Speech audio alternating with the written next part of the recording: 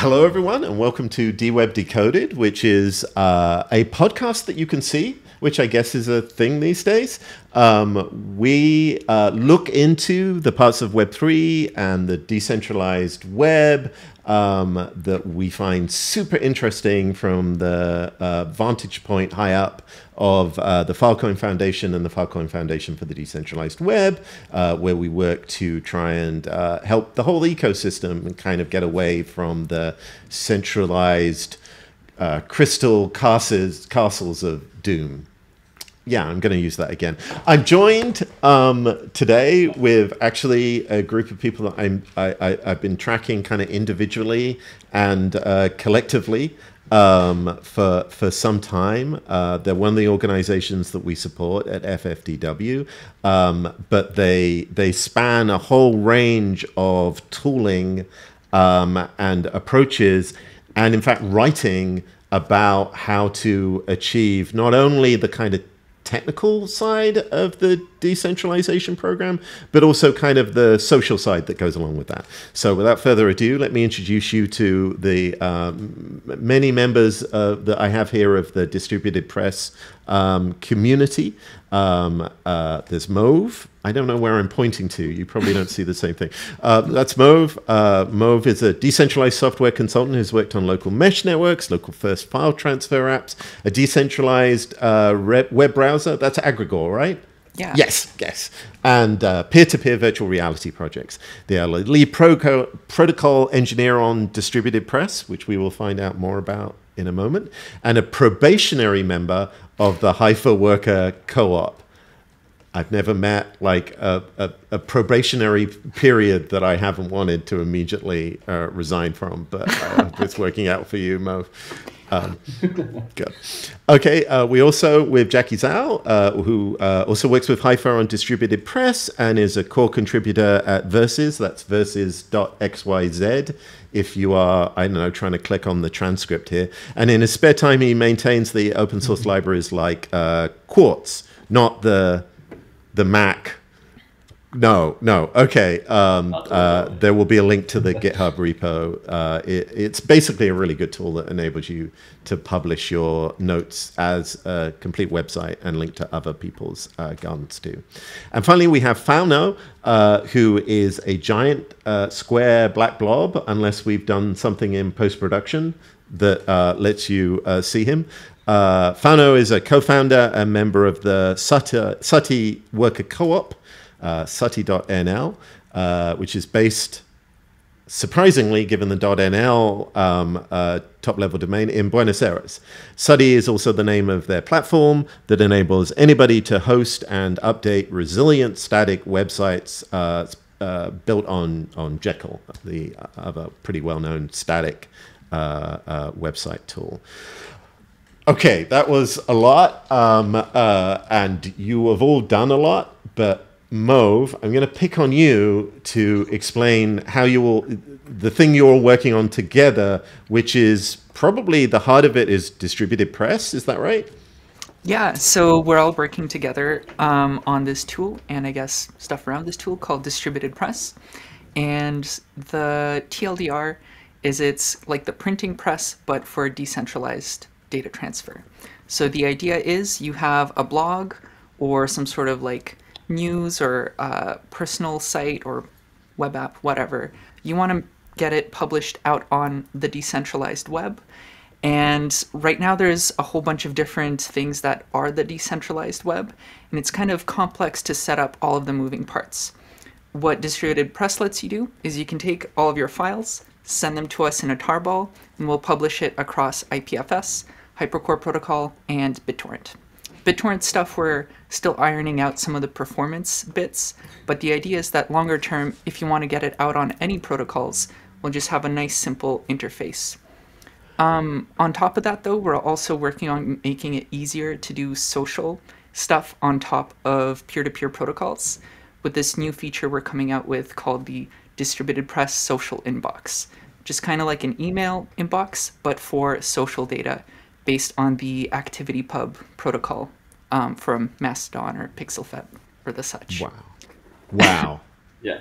It's kind of like if your website had a. There's so much to unpack. Usually, I'm like sitting there going, "Okay, now we could ask about this," and now I'm in this sort of like Muad'Dib, like branching history, where I'm like going, "But I want to talk about all of these things." um, uh, uh, Jacky, which part of this do you do you try and concentrate on?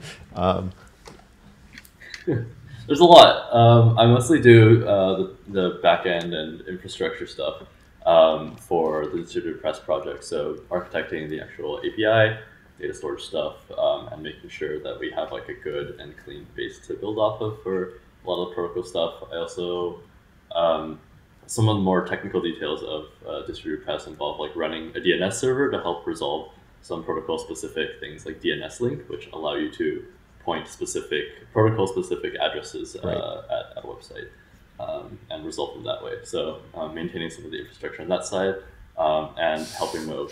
And uh, and Fauno, like one of the reasons why we ended up supporting distributed press that we were super excited about is that um, it's pretty easy, and I'm not going to point any fingers, but it's pretty easy to go, you know what I'm going to do? I'm going to build a distributed peer to peer system, and I'm going to write it, um, and I'm not going to like have any users. I'm gonna like I'm just gonna like make the purest thing.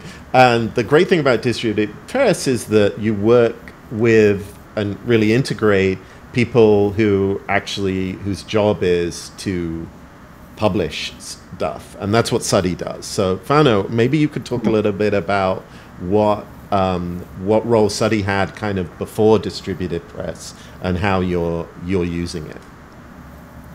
Um, yeah, sure. Um, what we've been doing with Sutty and, and before Sutty for a, for a long time is that we work with uh, organizations like NGOs or grassroots, grassroots activist organizations on hosting their websites. Uh, what we realized before starting Sutty and what we compelled us to to do it to do it is that most of the platforms and the software we we've been using was pretty precarious and that in that it needs lots of maintenance and, and, and attention just to be working right? So most organizations don't have the budget for that. So when you build a website you expect it to run for, for you want it to run forever but it needs much work behind that so what we try to do at and we've been focusing on the last five years uh, that Sutty exists, is that we can build, we can actually build websites uh, for the people we want to work with. Uh, we work with. So that's my cat trying to shine the conversation. Um, what was I saying? Sorry. is uh, yeah that we technically we can build websites that last forever, right? Uh, and what we needed was a, a CMS that uh, work with them. And at, the, at that moment, we didn't find many options. There are many options for static site CMSs now. Uh, but part of the work we do in, in Buenos Aires and across Latin America is that we also want to be the um, worker owners of the platforms and the software we build. So uh, we took the opportunity to, to build it ourselves, to imbue it with our own perspectives and, and the needs we we found with uh, uh, our, our colleagues and the organizations we we we work with, and that's how we started Sutty. Um, and Sutty is also a worker on cooperative, so um, the all of the members of of the Sutty co-op are worker owners of the of the cooperative. Um, that that was a bit tautology. Sorry. Um, no, no. But I, yeah, I the idea that, yeah. yeah. Sorry. I think it's interesting, and we, we should we should set aside a chunk just to talk about the um, the the fact that the Sutty is a cooperative, um, and so is Hypha, which is, I think, like you know, one of the the core parts of the people working on distributed press.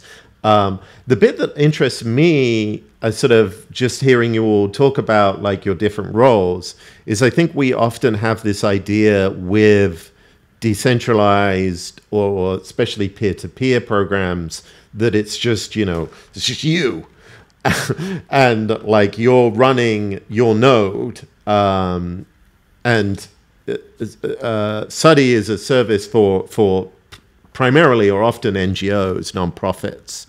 And I remember there was a time where people were very like, okay, nonprofits can often be targeted um, by governments, and so it would be really important for them to like run their own resources so that they have control over it.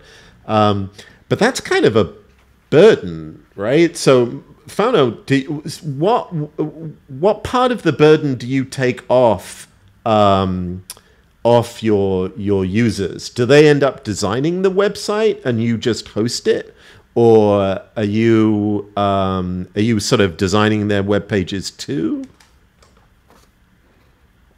Uh, yeah, we actually do a bit of um, everything. Uh, we we don't do we currently don't do design, but we work with another worker on cooperative that does the design. Oh. So what we the work we do and what supports um, uh, what has supported Sutty's work is that we um, uh, what's the word a company no. Well, we we we, we worked with the NGO from the design and, and the the communication strategy, uh, the migration if they already have uh, content published on their own websites. Um, we build this on on Jekyll as you mentioned, and then they can manage the content through through Sutty. So we we we work we work with the with any organization that uh, all along the way of thinking about the website they they need and they and they want, and then how we can build it with more resilient technologies. And then now that they, that we're working with distributed press, we can also say, well, this is hosted on our servers, but it can also be hosted anywhere and, and other organizations and individuals can help us to uh, host the, web, the websites and, and, fulfill this, this promise that they are, uh, once they're published, they are up forever. Right. So, Mo, like, this is this sort of how your team uh, sort of anticipates distributed press being used, like a kind of organization like Sutty that sort of occupies that bit in the in the ecosystem of like someone who hosts WordPress sites or something like that. Um, and they will have like they will use distributed press to like post this to the dweb. Yeah, so we're actually figuring out the details of what our long-term strategy is. And right now, the way it works is you can self-host an instance of distributed press and just get it up um, on whatever infrastructure you control. And so self-hosting is super easy and we want to make sure that since it's open source, it should be easy to adopt without having to like go through any extra steps. However, we are also forming relationships with groups interested in publishing their sites. And longer term, we've been talking about maybe doing some sort of co cooperative governance and ownership of the distributed press infrastructure itself so that the stakeholders, be it large publishers or smart small publishers, could potentially work uh, together. Personally, I see distributed press as a piece of this larger picture of how are we going to use this decentralized software at all. Because right now we have um, we have useful tools like Filecoin where we can onboard a huge amount of data and pin it and just have it available for a long time. There's a whole bunch of things around the, the ecosystem of how to get the data back out or upload it in there. And there's various versions of that. But then how does this look for, say, a small, like just uh, community organized group? Or right. how do they then read that data back? Or is there a way to make it so that we don't even need to de uh, depend on any extra infrastructure to make it work?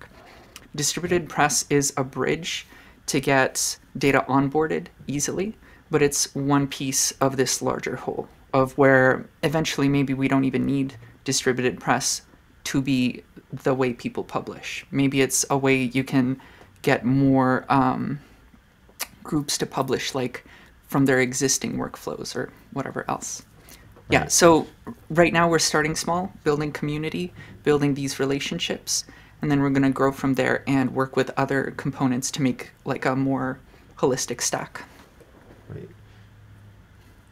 I want to kind of add on to that and just like think about peer to peer, even just like as a term. Um, it's like individual, individual to individual. But uh, I think a, a bigger question that has kind of surfaced in, in like the Web three, I guess, decentralized tech sphere is like most people don't actually really want to host their own infrastructure, and actually hosting Right. their infrastructure is really hard. Um, so a lot of what we're, we've been kind of thinking about um, with, especially like in the context of cooperatives, is like what does communally owned infrastructure look like, um, and having groups larger than just individuals being able to kind of contribute and Right. post content for each other. Um, at least to me, kind of like publishing with DWeb means that instead of like a single provider hosting your content, you have a bunch of people on the web that are helping co-host your content as well in very much Right. I. I think this is really interesting in that, that we're very used to very clearly demarcated perimeters around organizations. You know, I work for the man. He- They're a very nice man. Um, but but you know that's that's my full time job. I mean, I have a few other hats, right? Like you know, I post to my own blog and like I tweet uh, my name, or you know, I'm contributing to these other groups, and those are more permeable. I think part of I think what's interesting, and this is a theme going through um, these podcasts, is like you know, talking about other ways that people organize. Like so, I think it was interesting when Fauno said, "Well, we do this bit, and there's another cooperative that does this other bit." Um, and with cooperatives, there's sort of this overlapping part. Like, Zal, like, how do you? Um, ja- sorry, Jacky. I just surname, like, kind of. But anyway, um, how do you? Um, uh, this work that you're doing with this, how do you fit it in with like other other work? Are you kind of do you see yourself as a, a contractor? Is it just another sort of open source program that you contribute to? Um, how do you divide your time? I I'm sorry. Yeah, I jumped into it. I'm sorry. I And think, like you know, um, no, no, this is this is it's good and worth asking, and I think it's it's really interesting, that, especially within the sphere of like how people la- label themselves or introduce themselves. I think historically, I've actually like really disliked introductions because it kind of forces you to flatten yourself into like a very legible uh, like paragraph form, and I think most people are, are much more than you know what a paragraph could describe. Uh, and I think similarly with like organizational affiliations, like people's identities are, are pluriversal and, and have multiple facets to them, and um, it's like a lot of a lot of it is like it's very hard to find like a single company or a single organization to be able to kind of encapsulate that entire entire part of it. Um, and so I think the the larger like upshot here is like people need to be part of different communities um, and different bodies of work. Um, and a lot of times that's actually ends up being really helpful because then you get a lot of crossover and cross pollination between different projects and ideas. But like, hey, I've done this really cool thing with this project already. Um, would be cool to contribute something similar to this other project. And I think that sort of cross pollination is what allows what allows you to kind of break down um, like more traditional barriers about like, oh, this is like a company that does this exclusive thing, or this is a project that's only for this. I think a lot of the like, real innovations kind of come from cross disciplinary or, or these sort of like, Right. cross. Mauve, do you are you still working? Is Agregore still um, still proceeding?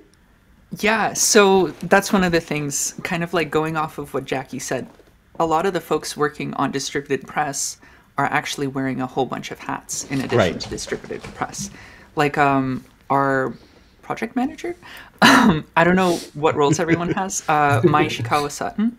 So they are also doing a lot of DWeb related stuff, and Right. they've been kind of in the ecosystem doing like a whole bunch of things at once. And so their experience with other teams and the crosstalk has been really helpful, as well as other members of uh, Hypha that are like jumping in and out of distributed press work. We're all kind of working on a bunch of things, and as such, we're kind of like spreading as a sort of a mycelium, connecting a whole bunch of things together. And so, Right. Yeah, Rhizomatic is the you know. yeah, It has been ten minutes since we started talking, and we've we've just hit the Rhizomatic um, uh, point. Yeah. Yeah, um, but re- regarding um, Agregore itself, I use it full time. Um, I would have joined this call on it um, if it presented itself as being more Chrome-like. I know. There's, Mo, there's always a point in these discussions where someone will go, and if we were actually using a bit more of this decentralized software, I wouldn't have had so much trouble like joining it. At least it's better than when we were on Twitter Spaces. But anyway, yeah, Yeah. okay, Yeah, so yeah. yeah, but but Agregore, it like it works. It's great, right? And it supports all of these protocols. So um, So. I find it to be an important part for the viewing side of like, okay, we've published, now what? And the now what I think is we should be encouraging peer-to-peer web browsers.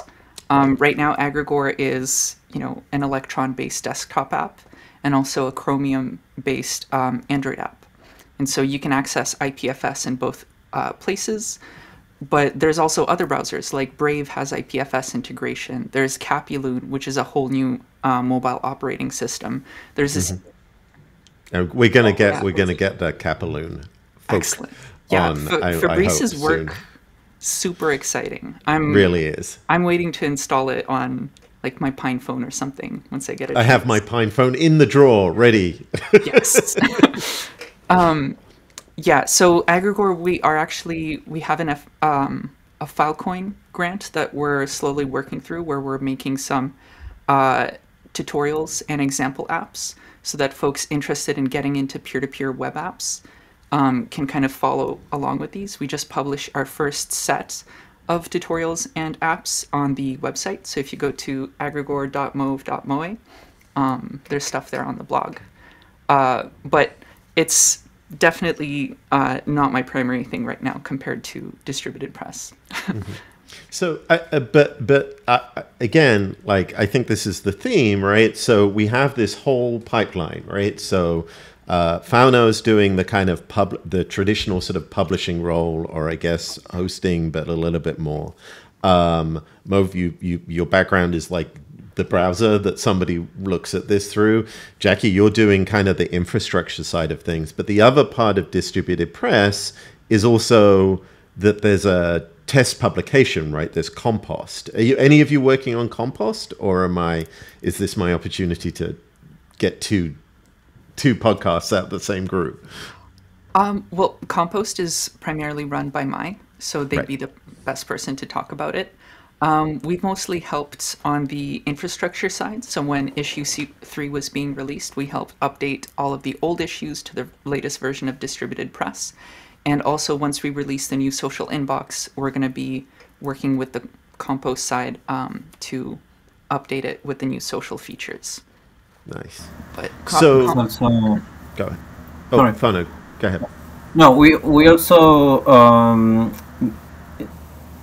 turn um, the compost design into a theme. So if you create an account in in Sutty, you have you can have a um, customizable customizable compost uh, website. So anyone can Nice. can use it and al- also enable the, the distributed press integration and publish it to to the web. So it's an aesthetic as well as a, a magazine, right?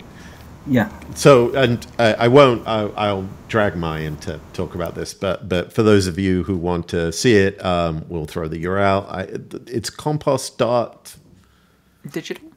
digital. That's what I top level domains. Um, but if you if you go there, it's actually a great little zine, and it's sort of without doing that thing of going, hey. This is we're using this peer-to-peer network to talk about this peer-to-peer network. Find out more by um, uh, which is a recurring problem, I think, with new social media. Uh, it is about decentralization, but it actually manages to be actually pretty pretty diverse in the in the stories it talks about. Um, but I want to kind of drill down on this for, with with with you all really, which is so okay we have Compost. Compost is a traditional website, um, and then you you said Mauve like you tar up your files, or you you know zip them up, or you you put them into a form that that like you can send off to someone, and then it appears on IPFS, which I think our audience is probably pretty familiar with, um, but also uh, more more than just that. Like maybe you can talk about what the others the others are. Yeah, so the other big one that we're using is called Hypercore Protocol. It's part of the Holepunch um, ecosystem. So Holepunch. It used to uh, be io. it used to be DAT, right? Yeah, Or it used to be DAT, yeah. that. Then the core of like the peer-to-peer side of that got spun spun off into this other thing, and now the that has been integrated into this larger sta stack called Holepunch, and this uh, decentralized chat app called Keet, Keet.io, which is kind of using it. Oh, interesting. Um, this is also where the Beaker browser existed. Right. Um, sadly, Beaker hasn't been worked on in a few years.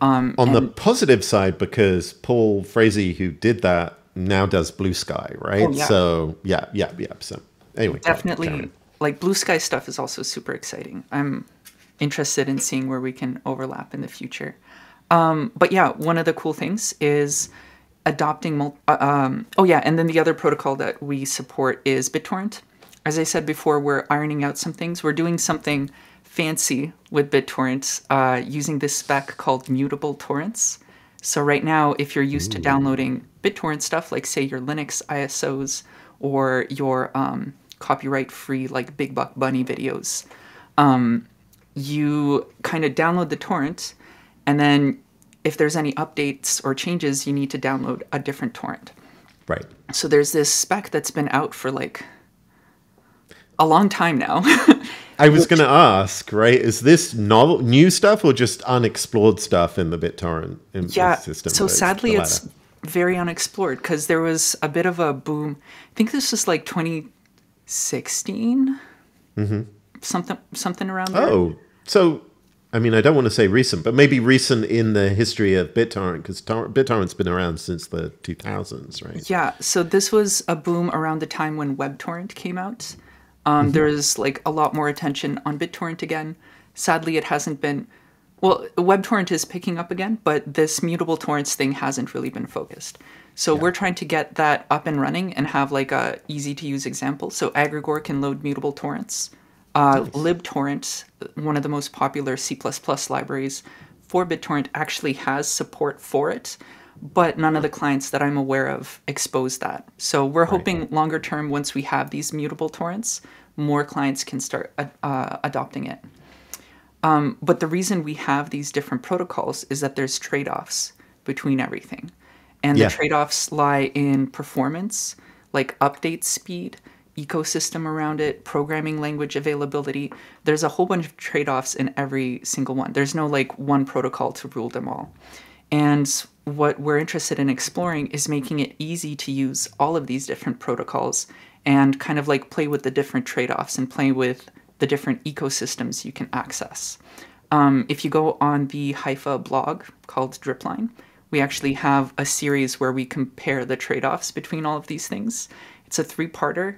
It's pretty big. Um, I think I just like cranked it out in eight hours and then we took months to revise it. But um, we kind of go in more depth there. Yeah.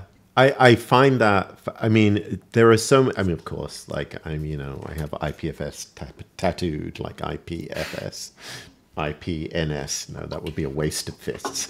But, um, but you know, I'm, I'm, I'm, I'm, I'm, uh, uh, I, I'm super involved in that, but you know, and people are always like, "Oh, like are you in competition with these other things?" And and really, I mean, I don't want to over beautify it. Of course, there's a little bit where you go, "Oh God," um, but in fact, you know, uh, you you look at these, you you are always looking at these trade offs, and both kind of trying to see if they're the, so with BitTorrent.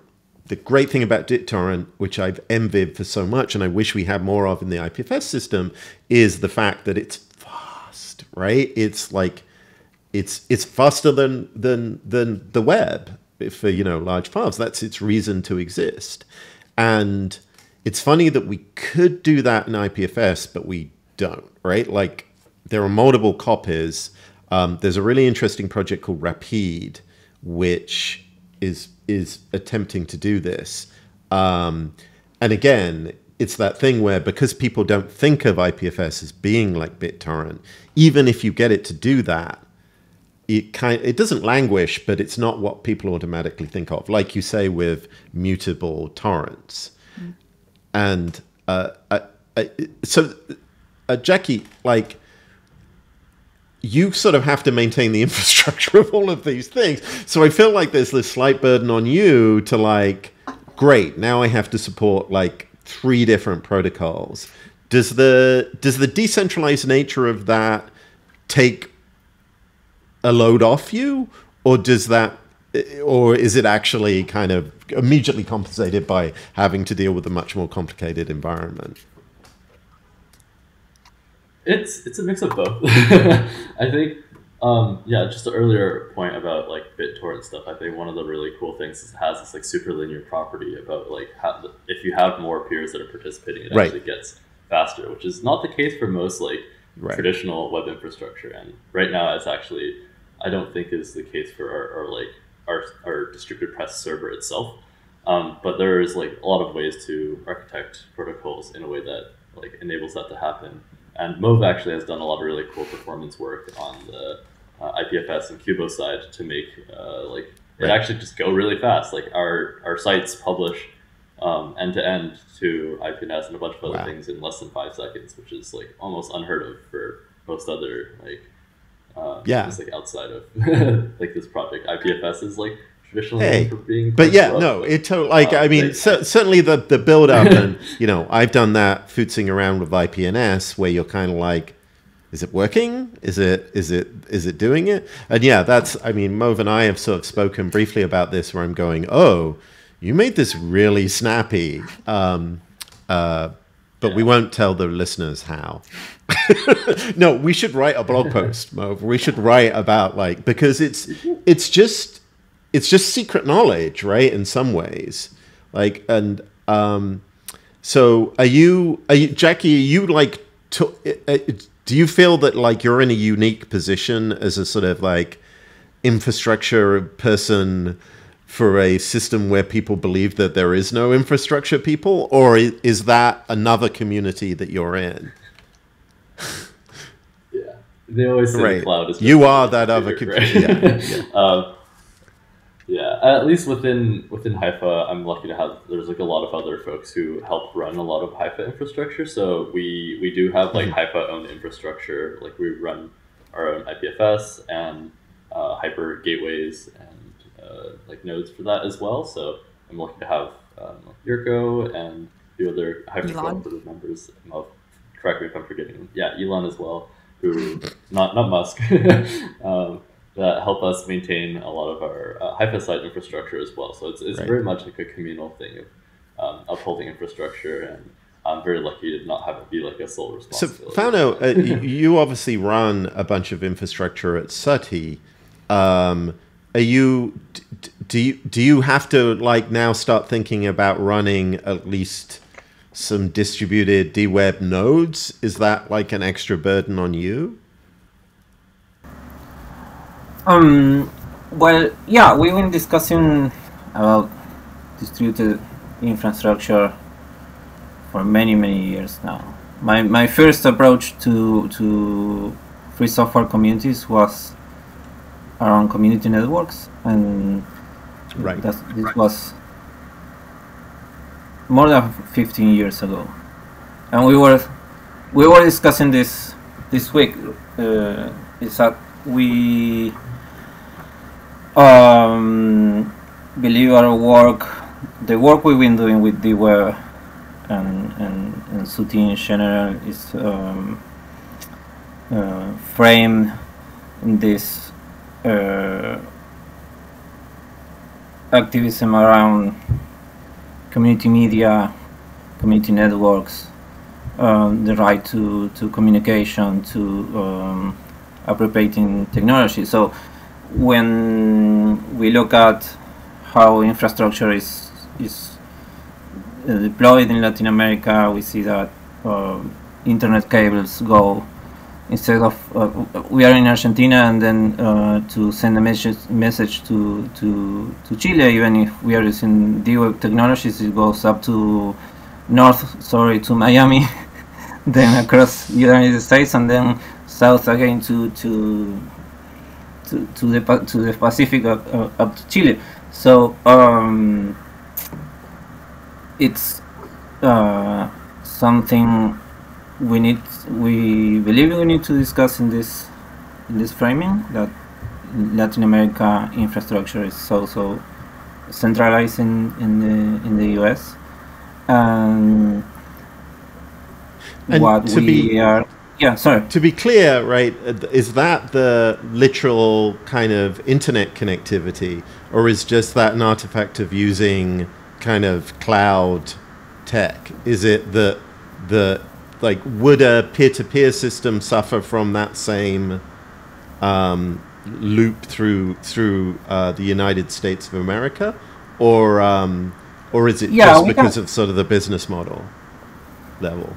Um, no, I think we, we, we may need to check the, the maps, but there's uh, we've been investigating this. There was uh, there was there were plans like ten years ago to to for for Chilean and Argentinian governments to do the the the mounting of fiber optic network between the countries, for instance, and, and across other countries, and we haven't heard of these plans in the, in the last years. So there's some advances on them um, um, that should come from public funding, and then they they end up being from uh, uh, private funding. So there's a cable that belongs to Google that goes to from Argentina Right. to, to Uruguay, I believe.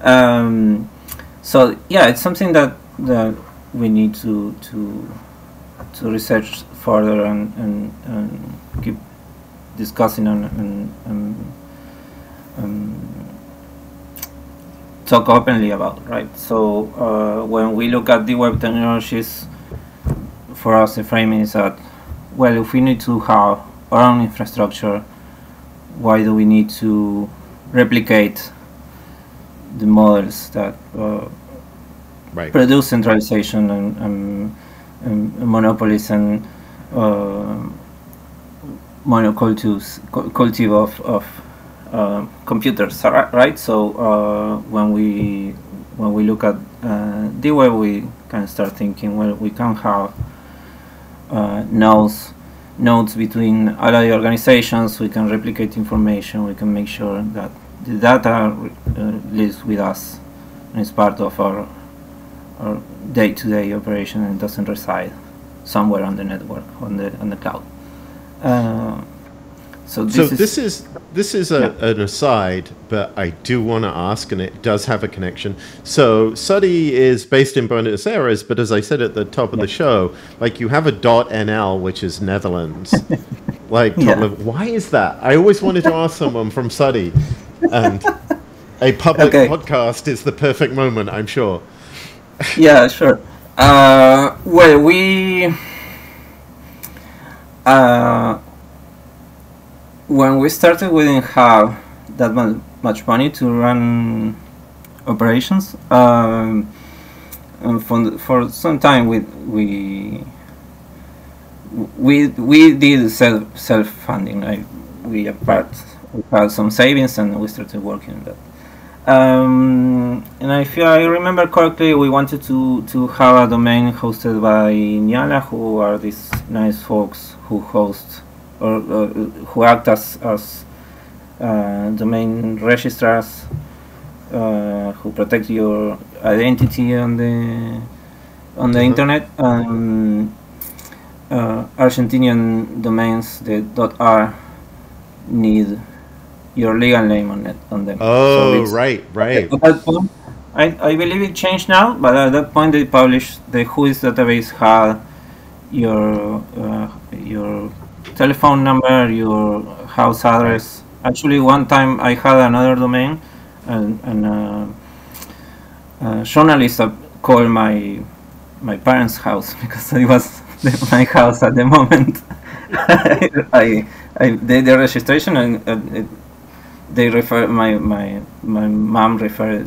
refer him to my my cell phone number. I suddenly was talking with someone I didn't know Right. anything about because he wasn't the who's that who is database publicly. So we didn't, we didn't want to start by registering. You didn't want your mum being called again, like. But presumably you trained her more in information security by then. So Yeah. But, um, um, uh, yeah, that was surprising actually. But uh, well, and then um, the the cheapest domain names, the the one we, we were we wanted a short one, so the the NL one was the two letter two character TLD. So Nice. that's the that is the story behind the SUTNL. But yeah, then So- we realized it's confusing. Now we have a So- .cop.r that's uh, under the Sutty worker on COP uh, name. Oh yeah, because there's a co-op now, right? Right. Um, so I thought that was going to be a great segue to international cooperation, and it kind of is. Um, but it's also kind of a good segue to like explaining privacy issues around these protocols, right? Because I think sometimes people get sort of the censorship resilience part of the equation um, mixed up with the fact that actually, I mean, to pluck BitTorrent out, you know, BitTorrent is actually, and I think people know this now, can be very revealing about who is downloading and sharing this. Like when you are trying to describe this to people who are going to use this technology, how do you explain the privacy trade offs with these different protocols? I'm going to pick on Mauve because. I'd, I'd also like to hear Fauno's approach because I think Sutty's Oh, that's true. talking a lot with uh, folks in there. Personally, um, I kind of think of the trade-offs because right now, um, what are you revealing and to who is a big question. Because uh, even with BitTorrent, you know, you once you start downloading something and you start resharing to the network, your IP address can be leaked, and so other people downloading that content might be able to find out where your IP is, and that could lead to um, them finding out which city you're in and like other scary things. Um, but also, different protocols have different trade offs. So, for example, um, how can somebody find that you uh, are torrenting something? And so that's kind of a, a big question where if it's some sort of publicly available torrent, if it's a publicly known data set, there might be organizations that are constantly scanning the network and just trying to see who is and isn't downloading it. Um, in IPFS, for example, there's new things being introduced to make it a little bit harder to just like scraped scrape all of the data that's available from the network by doing double hashing or um, there's this new thing called or no not new thing thing uh, called uh, I think it was like relay something but the idea is that instead of you connecting to the network directly you connect through another node which is closer to how tor works Right, and right. every like every other month someone comes in and is like when are you going to support tor or Tor- I- I- i2p or wh- whatever else Right, or there's right. new things being released that have mixnets uh, built in so it like one of the things is if you are replicating data that is within a community that you trust, the risk is very low. Um, not very low, but it's much lower. Like maybe someone could man in the middle on your network connection and see that you're doing some sort of IPFS traffic. But Right. unless they actually have those, um, have like the raw identifiers you're uh, replicating, they don't necessarily know what you're replicating. And as well, there's other things being uh, put into place where you can ask to download a bunch of different chunks from different peers at once to kind of like fuzz what in- information you're actually interested in. Um, There's a whole bunch of things being worked on to make the peer-to-peer uh, stuff a little bit more like private. This is also with trade-offs, and it depends on your threat model. Personally, I think for the contexts where you're sharing data among uh, trusted peers, that's where you get the most advantage. And then for more public data is where it gets a little uh, more gray. Yeah. Yeah. I think um, we we had a session on this at DWeb Camp uh, this year earlier, talking about like what is the meaning of deletion in like a decentralized world, and a lot of the main question kind of revolved around like what deletion means when copying bytes is really cheap and can happen anywhere without consent, like anywhere along the line of transfer. Um, and the kind of conclusion that we all came up with was that deletion can only happen in like non-Byzantine environments where what does kind of sorry what does Byzantine mean in when we this in this context? Yeah. So Byzantine is like uh, a technical term uh, used to describe uh, a property called Byzantine fault tolerance, which is uh, referring to this uh, old distributed systems problem called the, the, the, the Byzantine generals problem, in which like three military generals need to coordinate an attack on the city, but uh, they can't trust that the communication will always make it to the other peers without being altered. and the, the, the, result is that there's actually no way to coordinate um, among all three of them such that they can always guarantee that two uh, generals attack at the same time. Um, so basically saying that it's like without, um, um, if you have malicious actors uh, in, in, this system, that it's uh, honestly very hard to uh, coordinate. Um, so in the context of this deletion example is that if you have even a single bad actor in a trusted group, you can't. Act, it's very hard to guarantee that any deletion will ever occur. Uh, the kind of like more common analogy that we kind of decided on was that deletion in like a decentralized context is more like whiteout than erasing in that you're like adding another layer on top of Right. please ignore the previous thing but like a really motivated attacker can kind of go and scratch off that top layer of whiteout and, and look at the Do people still know what whiteout is, or are we just like we? It's, it's like it's that that weird thing where you try and explain it into a technology that people have used, and like they go, "Oh no, we all use Tor now, so you have to explain it to Tor." Yeah, yeah. Yeah, yeah, Yeah, for the young folks out there, you put a layer of white thing over the paper and you don't see the thing underneath. It's like over, over your VCR. Like No, VHS. not VCR. Like if you, are, oh no, Fauno. Um, do you have these conversations? Do you? I mean, some of the some of your customers must actually be thinking of, of threat models and their security. Um, do you help them think through these problems? Yeah, um, the the attacks we've been seeing. Uh, the- well, uh, in in Argentina, what actually happened with some other projects is that the um, or there are server issues or um, domain blocks at the DNS. So the the, the judge orders the the uh, internet providers to block the, the DNS. So we when we started thinking on Sutty and what uh, we need to support to, to to to be resilient through these cases is that well since they are static websites are just a folder full of files we can copy them anywhere we can host them host them under any domain name. We've been looking at, at DWeb technologies to to do this. So the the um, the the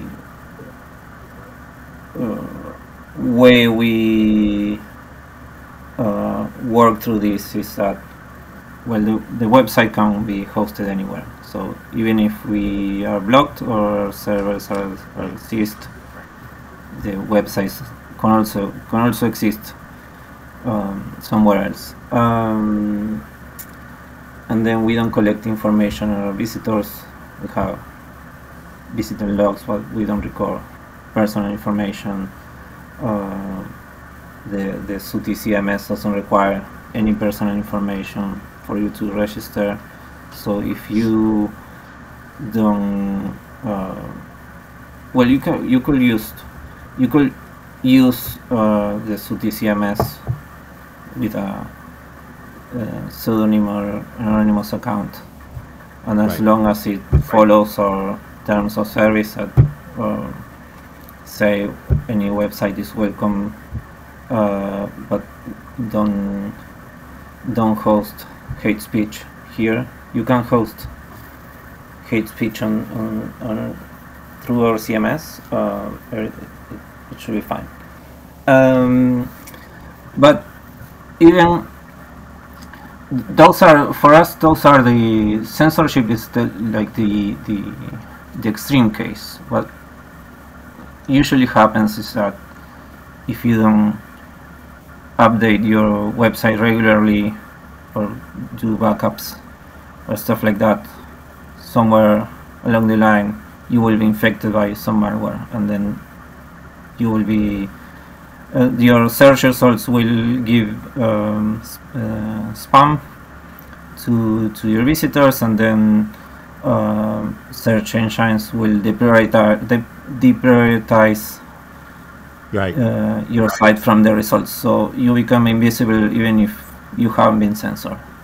Um, yeah. That's for us the main issue for the for the organizations we work with is that we need to be organizations need to be behind maintenance updates, SEO, uh, uh, SEO, sorry, um, um, many stuff just to be visible in the in the in the web.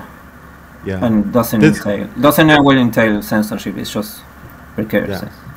It's often, I think, often when we're in this sort of space, we come up with these very elaborate kind of oh, you know, what happens if the government comes along? Um, and in fact, you know, the biggest problems anyone struggles with are the same ones anybody else does, which is like you say, you're, you know, the mm-hmm. malware isn't there to get your precious secrets. The malware is there to fill your site up with spam, and that means no one sees your site because, because like yeah. you say, uh, Google deprioritizes it.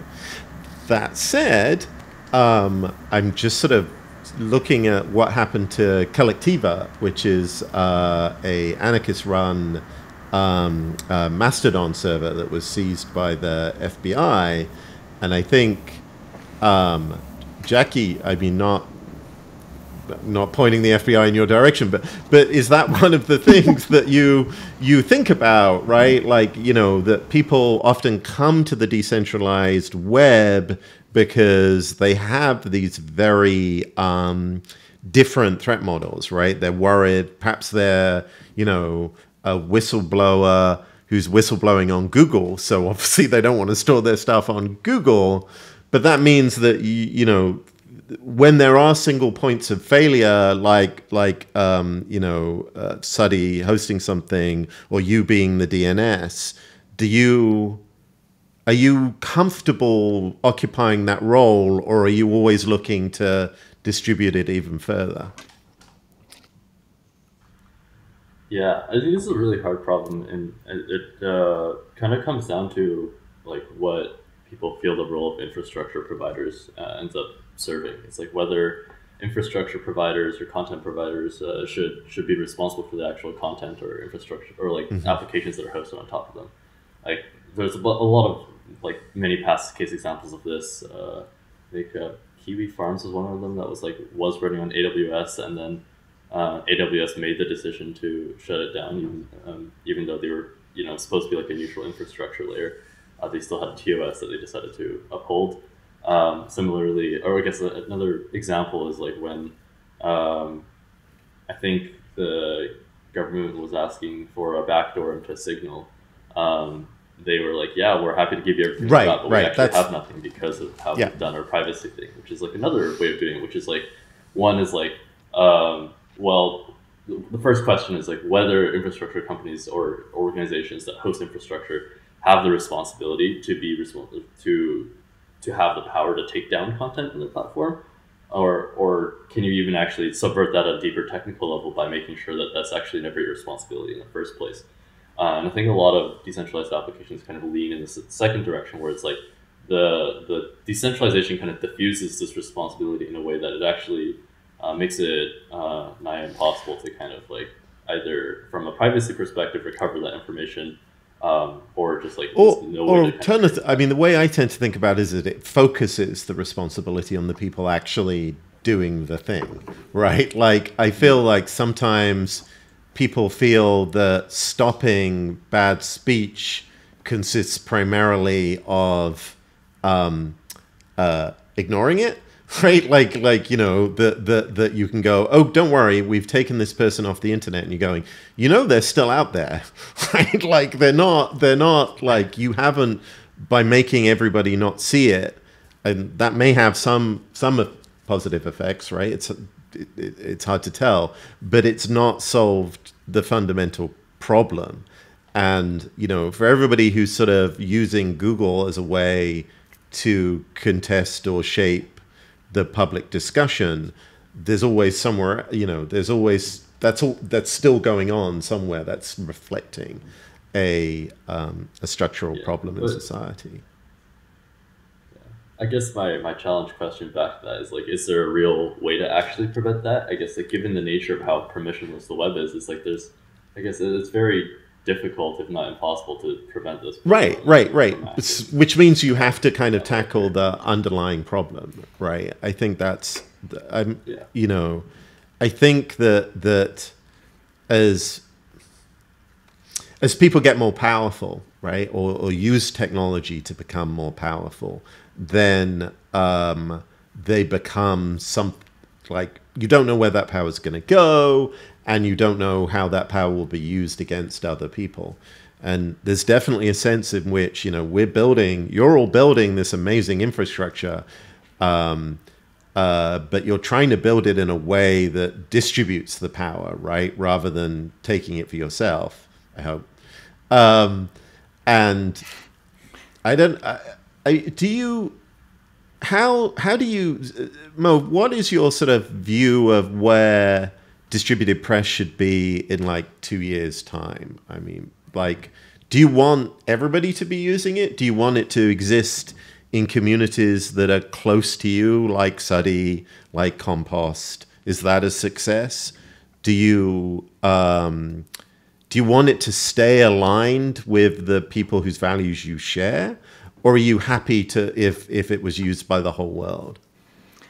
I mean, I, I think realistically, the whole world adopting distributed press specifically is not going to happen in two years. Right. And I, I like the condition of like not in two years, maybe three max. Well, like as I mentioned before, distributed press is also just a piece of this like whole ecosystem we're working within.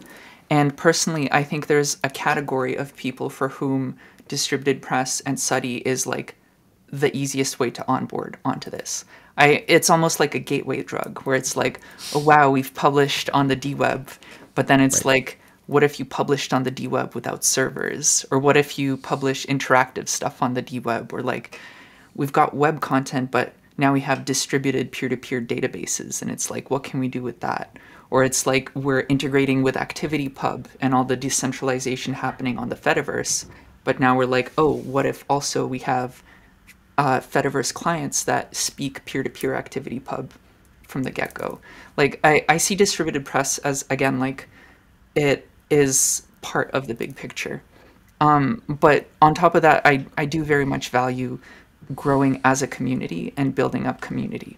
I'm not a huge fan of the, I guess, kind of like traditional software um, model right now where people basically make something that will solve an issue for folks and they get a bunch of VC funding to dump into marketing spread as much as they can and like get as many ads in people's faces and people's using it. And then now they have a monopoly and they start crunching and adding ads or like raising prices or you know out competing smaller things and like kicking them out. I'm not a huge fan of that approach, and that approach is the best way to get everyone using the thing in two years.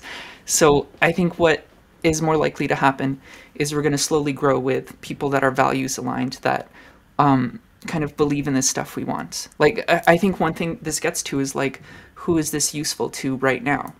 Because personally, I think people that have, um, let's say, like wealth access to stable internet, access to like resources and knowledge and all of that through just the traditional means, they're not going to benefit that much from um, decentralized software.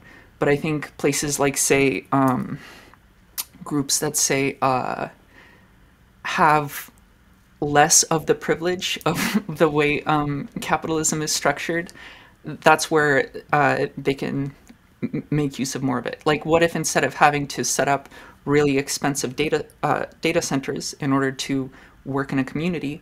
What if the community becomes your data center and becomes your infrastructure?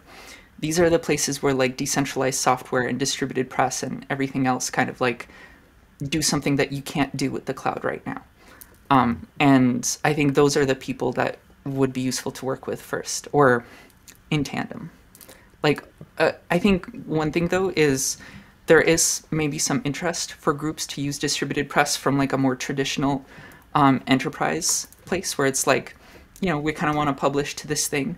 Maybe they're getting tired of uh, Facebook or Meta's monopoly on who gets to see their data, or say um, they had Twitter, now they don't, and suddenly they can't get their news out to their audience or can't get emergency broadcasts out.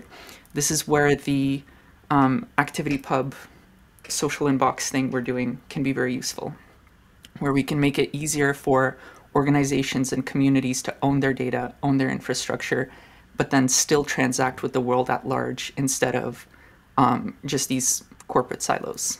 I don't know if that makes sense. That's kind no, of like that totally it's a very sense. distributed viewpoint. Yeah, yeah, yeah. No, I, I mean, um, and I, I, I was just literally, if you saw my eyes sort of like, like, like focusing there, I was like, oh my god, we didn't talk about the hour is almost up, and we didn't talk about social inbox, which sounds like fascinating, but that's fine because that's just an excuse to drag you all back in when that ships. But if people want to find out more about distributed pre- press and what you're doing, uh, what's is it? What's the best place for them to to join you?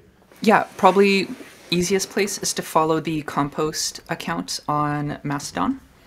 Um, or I think it's linked from compost.digital if you look on there. Uh, we do also have a Matrix channel where we're kind of inviting collaborators over time. If you want to work with us, uh, send an email to, I think, hello at hypha.coop. I think we might have a hello at distributed.press, but I'm not sure. Sent to both, maybe? I don't know. Yeah. Um, yeah. Yeah, yeah. Edit it Well, well, you can set up an alias, I think, like Yeah. while we wait. Yeah. so and, and yeah, that's kind of where um obviously slide into my DMs if you want. Um I'm Mauve at mastodon.mauve.moe um on the Fediverse. Um I'm on Twitter and stuff like that. I think we have a Twitter presence for Compost as well, but um it'd be nice if we used more decentralized stuff like email. yeah. um, Yeah, I also want to add that uh, docs.distributed.press is available if you are interested in self-hosting uh, distributed press for you or your own community as well.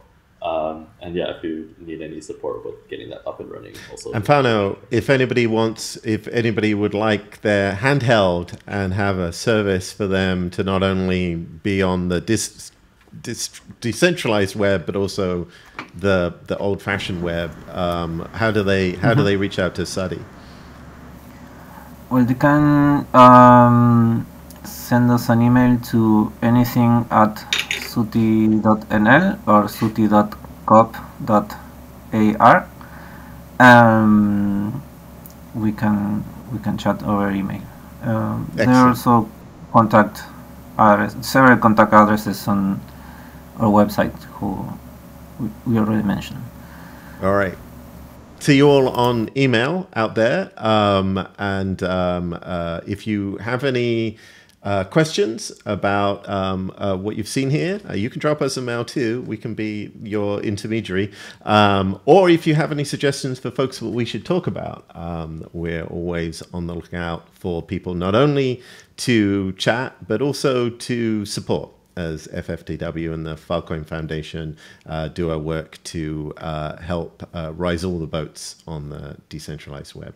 Thanks very much. Uh, I guess join and subscribe. I don't know, um, and uh, we'll we'll see you next time. All right. Thanks a lot, everyone.